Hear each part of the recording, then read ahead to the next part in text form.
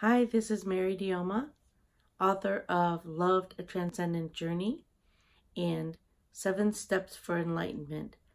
Practical actions anyone can take toward personal enlightenment. And I just wanted to give you a tips on uh, how to get started on your journey. One of the main things that I talk about is the life review process. And that is basically taking out a journal. I suggest you start with a new one and devote it to this project so that you can keep track as you go along.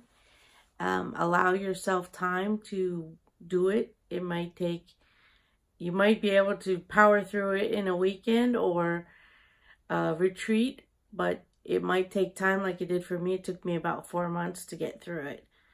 And I basically just started at the beginning of my life and tried to remember different things, all the different events of my life. Some of them were happy, some of them were not so happy. And um, each memory I treated with this process. And hopefully, by sharing it with you, you can get started on the journey.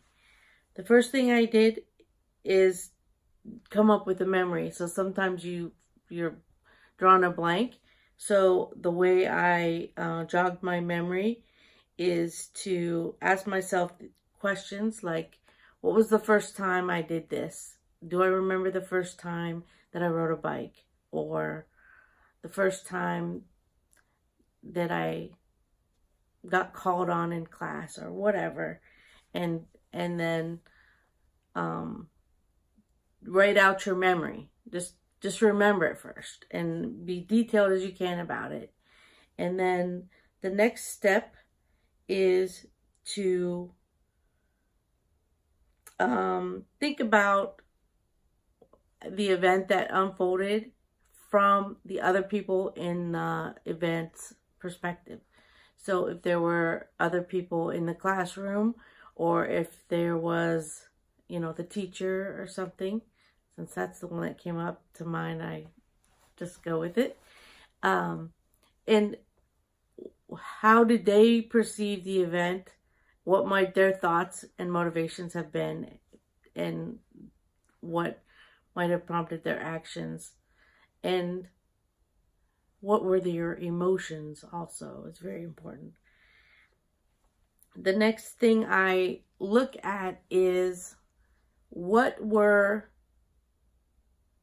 positive ripples that came out from that event. Now, it there might be negative ones, but I want to stay focused on the positive ones because what we're trying to do is get some healing and focusing on the negative is not going to help in that matter. They're not invalid, but they're not the point of this exercise. And so what were any possible positive ripples that came out of the event? Did you learn something? Did you gain some strength? Did you gain some perspective? Do you now have experience from that uh, that is useful to you in other areas of your lives? Uh, just find some kind of positive uh, effect. And if you haven't found anything yet, then you can ask what might come out of this to be positive what might be something that I can glean now that I'm focusing on it to pull out some kind of extract some kind of positive result from having had that experience. And then the last uh, step that I use to try to get healing on whatever the events were and so that you can um, have a cleansing and have a healing from going through this process is what what does that event have to say? What was there an emotion there of pain?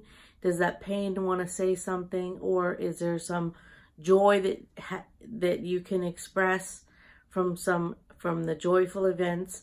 Is there just the you know the experience of it itself having, you know, something you can check off. What is what is the voice of that event? And give it its voice and go ahead and journal its voice and and you'll see if it needs that voice needs to go further than just journaling. That's up to you, but now you have it right there and you can contemplate what are you going to take the next step on that. But then you ask, can I accept the healing and release the energy of this uh, that I've been holding this whole time? And and hopefully that's a yes. It's okay if it's a no because then you can just set it aside and go to the next one. It's okay that if we don't get healing on every single thing that we're looking at, but it's, it's just an exercise to bring it up and give you a chance to look at it and especially look at it from the other people's perspectives. And once you, what I found is once I delve deeply into what might be an uh, a possible reason that I can give them, whether it's real or not, that that will allow me to get understanding on what their motivations were. So, for example, if it, the going back to the teacher, if I felt embarrassed and I felt scared at um, being called upon and going up to the, the board to write or being called upon to read out loud and I felt horrible about it. What was the teacher's motivation? The teacher's motivation would was to shine a light on each student, give each student a chance to, you know, be heard and to exercise their skills of reading or math or whatever it was. And to also give the teachers a chance to observe the students. So the teacher is, is doing their job. They're not specifically trying to embarrass any particular child so I'm, you know, I can understand, even though that I felt, may have felt upset about the situation, the teacher's perspective was with good intentions. And, and then if the other kids in the class maybe were giggling or chuckling, what might be a positive or an understandable reason they would have such a strong negative reaction or whatever to to like make fun of me as I'm uh, embarrassing myself speaking.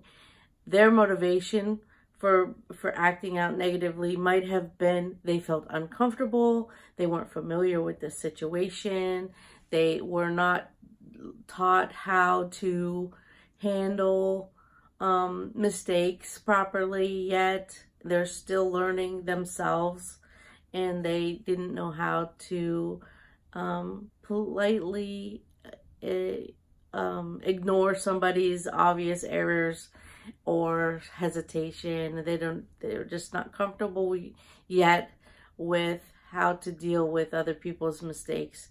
Who knows what their particular situation was, if they were malicious or they weren't. But if I'm giving them the benefit of the doubt in my explanation to myself, then I can release the negative energy on that and I could say, you know what? They're just kids. They were so also kids. They didn't know how to behave. They were just doing the best they could.